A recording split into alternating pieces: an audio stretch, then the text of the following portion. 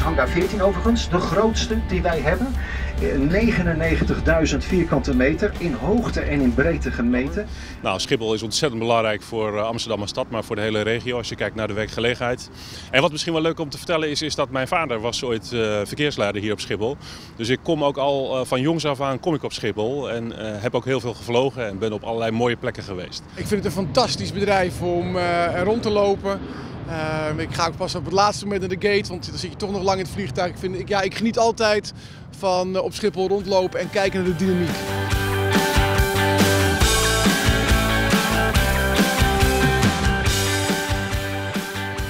Die concurrerende luchthaven is natuurlijk niks zonder die regio eromheen. En dat moet een balans zijn. Voor Schiphol is een goede relatie met de omgeving belangrijk.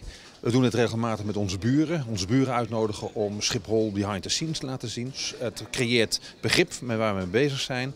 Wij kunnen goed luisteren naar, naar waar hun zorgen naar uitgaan. En ervoor te zorgen dat je elkaar begrijpt.